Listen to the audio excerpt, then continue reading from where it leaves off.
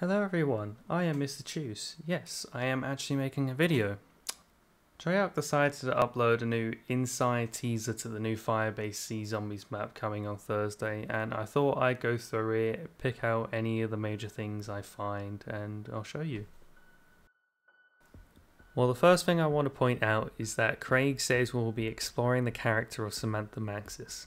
Now, originally I thought we would be seeing her in the map and maybe be able to interact with her, but it seems that won't be the case considering we can see Ravenov, her partner in the KGB, you would say, and I doubt Samantha is just going to be a few meters away from him in the same map if we're trying to save her because he could have easily done it by himself. The next thing Craig says is that this new world only exists because of what happened before.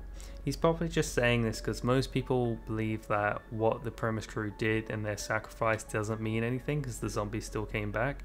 Well, this is what Craig's way of saying that this world still needed their sacrifice in order to exist, really.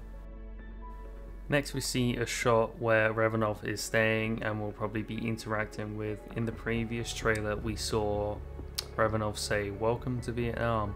This is probably where the player can walk up to him and uh, probably interact with him throughout the easter egg. We also see the pack-a-punch machine sitting next to him. I'm not sure how it will be powered. I don't know if it's going to be the same power mechanic in the other side of the map. So we're just going to have to wait and see about that. In the next shot we see this computer room with our trusty Jugger-Nog machine uh, looking like it's all powered up. As far as I'm aware, there's no little generator box next to it, so I'm not sure how it's powered, if we have to do the main power, or if it's just always powered up, just like in Die Maschine. Now we're seeing a few more shots of the area of the map that is taken from the campaign mission Fractured Jaw. Uh, looking very zombified. This is the same area as the Pack-a-Punch and Ravenov. Now we see what we assume will be the power room with something called the control unit which looks like we're going to have to charge up with zombie souls.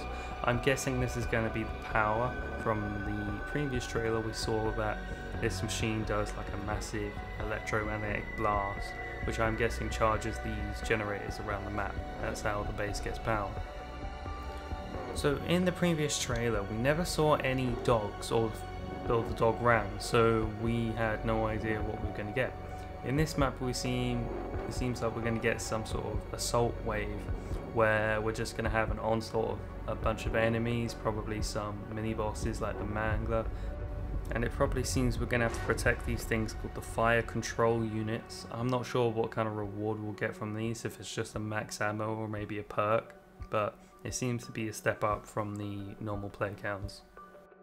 In the same shot, we see the player go up to the crafting table where we see our new score streaks, such as the artillery and the napalm strike.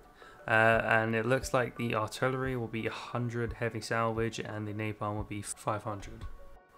Following this, we seem to get some info on the new mega boss or mini boss that we'll be getting and he seems to be turning into items like heavy salvage or just salvage and maybe drops.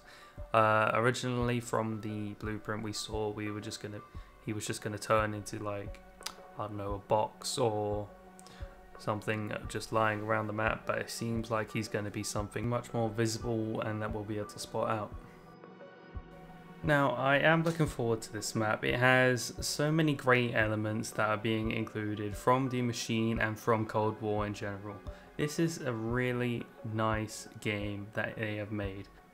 Now, I know that we haven't had many maps for Cold War, but at least they got the base game working and fun. Because that's the main part. You can always add more maps to it as long as the base game is fun. Quality over quantity. This seems to sum up all the big points I was able to spot out from this video and I hope you guys enjoyed. Um, I can't wait to play this map on Thursday. I think it's going to be amazing and uh, yeah, I'll see you later.